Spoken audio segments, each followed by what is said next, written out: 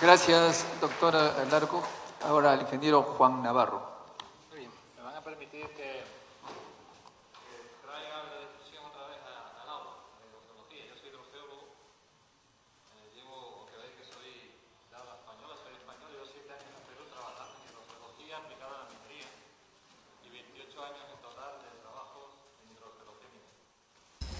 Entonces voy a hacer una pequeña presentación porque me gustaría eh, poder eh, presentarles mis ideas y les voy a presentar cuál es la visión de, de los consultores, de especialistas en hidrogeología sobre Yanacocha.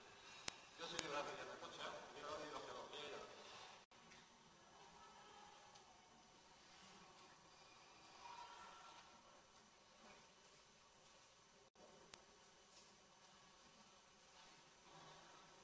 El agua en, en Perú, no solo en Perú, en Perú particular es muy importante. La gente que trabajamos en minería, que somos consultores especializados en temas de agua y minería, somos muy conscientes de la, de la importancia del agua y dedicamos mucho tiempo y mucho dinero y mucha inversión a solucionar los problemas del agua. en la minería.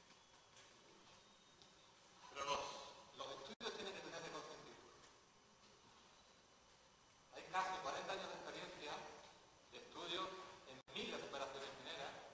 Hay 25 años de experiencia en Perú de estudios de hidrogeología y minería. Y toda esa experiencia da lugar a muchos procedimientos, muchos estándares que se aplican habitualmente todos los días en minería. Todos los días. Y también aquí en Perú. Sí, que hacer modelos matemáticos con los hidrogeológicos. La realidad, como nos han contado muy bien ellos, es muy compleja. Y la geología de Perú, aún más bastante compleja porque es la geología andina. Y esos modelos tienen que ser simplificaciones de la realidad, porque evidentemente no es posible en un modelo matemático incluir toda la complejidad. Pero esos modelos matemáticos tienen que estar bien construidos y basados en datos reales que son medidos todos los días en, en campo. Y tienen que estar sustentados en software, que tienen que estar validados por la comunidad científica, y que han sido probados por mucha gente, por científicos, y validan que ese software y ese cálculo provee un resultado correcto. Cuando uno se enfrenta a un problema de minería, tiene que ser capaz de reproducir, como nos enseñaba Saúl en su, en su diapositiva, todas las infraestructuras mineras correctamente, botadero, tajo, correctamente, ingresando esos, esos conceptos mineros en el estudio hidrogeológico. Y las mineras, yo, yo he trabajado ya en, en Perú para todas las grandes mineras del Perú, cada dos años actualizan sus modelos hidrogeológicos, cada dos años. Ellos toman medidas todos los días de hidrogeología, todos los días, y cada dos años todas esas medidas se meten en el modelo numérico y se actualiza, porque la mina es algo que está vivo. Y se manejan infinidad y cantidad de información y de datos. Y un cuarto aspecto muy importante, hay que mejorar el nivel de los científicos hidrogeólogos en Perú. No se enseña hidrogeología en la universidad como se debe. No hay un máster de hidrogeología en Perú. Yo he sido consultor del INGEMET en los planes hidrogeológicos del país, porque no es cierto que no haya línea base en Perú. Están los boletines hidrogeológicos que hace el equipo de hidrogeología del INGEMET, al que yo he asesorado. He tenido el gusto de trabajar con ellos y están faltos de medios. Necesitan más dinero, más inversión e interés político en, en el control de los recursos hídricos y de las aguas subterráneas. Yo vengo de un país que es España, donde en el año 60 se invirtió mucho en investigación hidrogeológica. Hoy en día somos el país de Europa con la mejor agricultura y el mejor turismo. ¿Por qué? Porque fuimos capaces de llevar el agua de donde estaba a donde no estaba. Y eso se hizo gracias a los estudios que se hicieron en los años 60 y 70. Se ordenó el territorio y se dio beneficio para el país. Mis recomendaciones, siete años en Perú. ¿Qué he visto de estos siete años en Perú? La, la hidrogeología en Perú es muy compleja, muy complicada, muy complicada. Los medios hidrogeológicos son complejísimos. Por tanto, exige de que estén al cabo de lo- o a cargo de los proyectos buenos profesionales. Y la, y la operación minera, la mina, tiene que ser muy consciente de la importancia que tiene el agua. Y la tiene. En toda operación minera hay una gerencia de recursos hídricos, hay una dotación de personas y dinero para vigilar y cuidar el agua. Son conscientes. Son conscientes de que están en las cabeceras de cuenca y que tienen que cuidar el agua. Porque ese agua va a ser utilizada aguas abajo por otras personas. Porque ese agua tiene que nutrir los sistemas ecológicos. Y porque ese agua tiene que llegar al mar y tiene que generar vida en el mar. Son conscientes, están preocupados e invierten dinero. ¿Hacen las cosas bien? Somos humanos. Hay algunos que las hacen muy bien, otros que las hacen peor. Somos humanos. La intención está. Y les puedo asegurar que yo como hidrogeólogo temo mucho más las revisiones internas que me puede hacer la minera que, las que hace el gobierno. Porque se cuidan muy mucho. Ahora, cuando van a hacer una inversión de cientos o miles de millones, de que tiene que ser una inversión segura. Segura y sostenible. Si no, una minera no invierte. Y por otra parte, los profesionales que nos dedicamos a hidrogeología tienen que tener capacidad de comunicar e informar, porque tenemos que informar a la sociedad de lo que estamos haciendo, porque el agua es un bien importante. Yo tuve la suerte de participar en la mesa de diálogo de Moquegua, que fue un éxito con el proyecto Quellaveco, un éxito, y tuve la oportunidad de contarle a la población lo que es un estudio hidrogeológico. Tuve esa oportunidad y tenemos que tener la capacidad de comunicar e informar. Por eso el trabajo que está haciendo Carlos es magnífico, porque nos permite que gente como yo esté aquí hoy pueda hablar con ustedes. Hablemos de, de Yanacocha, hidrogeología de Yanacocha.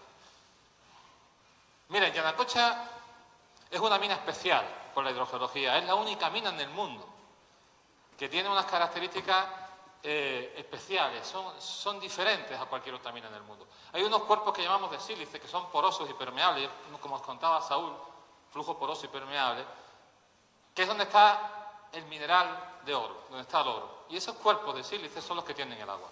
La mina tiene que sacar el agua antes de operar, como bien se ha dicho aquí, porque es imposible operar con agua.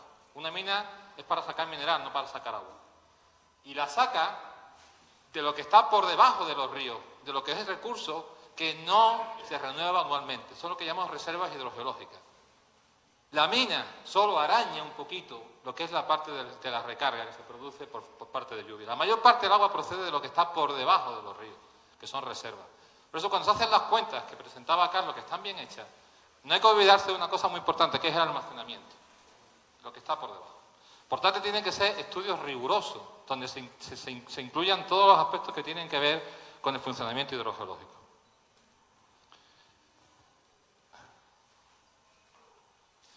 Y efectivamente, la minera Yanacocha tiene un modelo matemático donde están reproducidas todos los tipos de roca con todos los tipos de permeabilidades y esos modelos hidrogeológicos tienen que estar calibrados. ¿Qué significa calibrado? Que reproducen la realidad. Reproducen la realidad tanto en términos de piezometría, como nos decía él, como en términos de calidad, de balance de agua, de cantidad de agua. Y hasta que un modelo no está calibrado y está validado, no es usable, no es utilizable. Yanacocha tiene su modelo calibrado. No solo lo tiene calibrado en régimen estacionario, sino tiene calibrado en régimen transitorio, con variaciones de día a día, de mes a mes y de año a año. Fijaros, 146.000 datos de piezometría, 167.000 datos, es decir, tiene una cantidad de datos que introduce en el modelo y consigue reproducir cómo va a ser o cómo es la, afección hidrogeológica. Fruto de esto, Yanacocha, como cualquier otra minera, no es Yanacocha, cualquier otra minera del Perú, cualquier otra minera del Perú, tiene sus modelos hidrogeológicos para establecer cuál va a ser su área de afección. ¿Por qué? Porque la responsabilidad de la minera no acaba cuando acaba la mina, acaba cuando se clausura la mina. Y la minera tiene la responsabilidad de dejar eso en unas condiciones similares o parecidas como estaba antes de. Y hasta que eso no sucede, la minera no se va. Eso se llama lo que se dice clausura. Esa es la zona de afección máxima que los modelos matemáticos calibrados y validados cada dos años dicen que va a ser la afección de Yanacocha al final de la mina. Esa es. Por lo que os decía antes, porque realmente Yanacocha está sacando agua de la reserva. Con lo cual, eh, realmente, Yanacocha, como otras mineras, lo que hacen es que sacan el agua porque no tienen más remedios para poder operar y la devuelven al medio. De manera que realmente, como decía bien Carlos, sacan 40 y devuelven 40.